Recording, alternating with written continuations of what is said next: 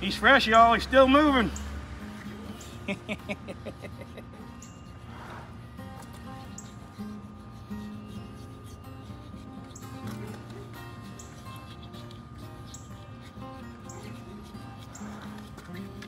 That's fresh right there.